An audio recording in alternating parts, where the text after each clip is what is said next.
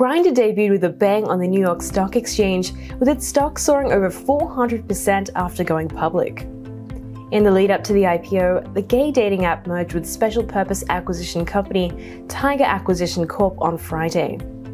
Under its new ticker GRND, Grindr kicked off trading at 16.90 per share on the first day, reaching a high of 71.51 over the session.